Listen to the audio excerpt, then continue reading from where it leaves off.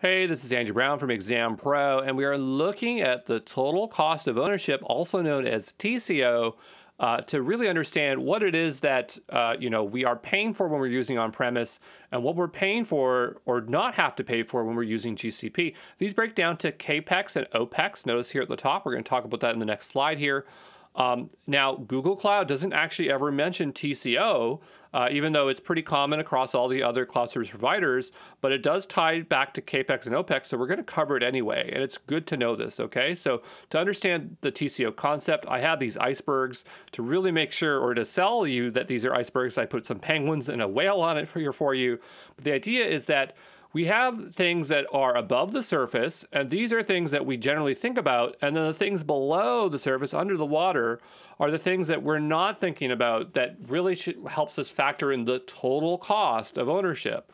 So when we're looking at things that are obvious, people think about, well, uh, you know, for on premise, we just have to pay for our software license fees, right? If you have, um, uh, Microsoft uh, servers, you pay for those licenses.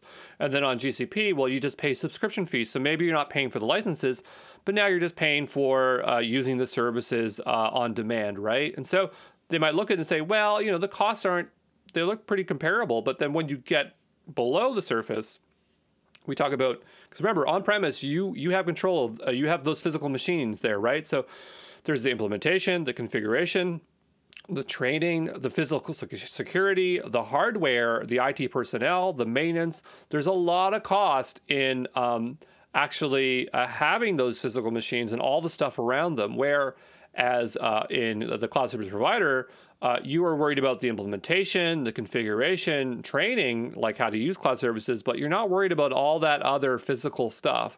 And the idea here is that you can save uh, up to 75% shifting over to a cloud service provider. Uh, GCP doesn't have an example of a, a, cost saving example, but AWS does, and they showed like 75%. It's going to be the same for all the, the CSPs.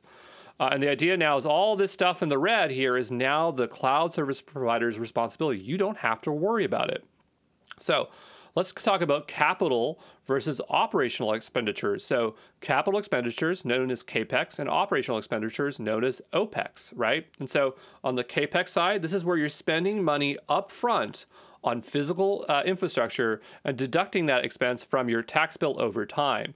So that's where a lot of people go, well, you know, I can get this machine and then write it off uh, year after year. And I guess that sounds okay, but you're, you're going to save way more money, way, way more money than getting that, that small tax benefit. But let's talk about what are CAPEX expenses. So you have server, uh, server costs of the computers, the storage costs, so like hard drives, network costs, routers, cables, switches, backup and archive costs, disaster recovery costs, data center costs, so rent, cooling, physical security, the technical personnel.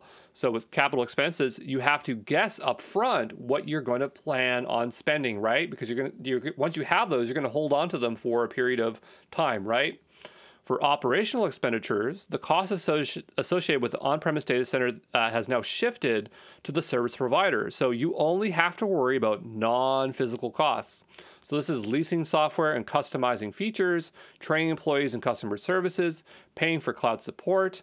Uh, your billing is based on cloud metrics, so compute usage, storage usage. And with operational expenses, you can try a product or service without having to invest in the equipment. So you can spend a lot more time in things that matter to grow your business, and you don't have to immediately commit to a bunch of stuff. You have a lot of flexibility there. Okay, so that's the huge difference.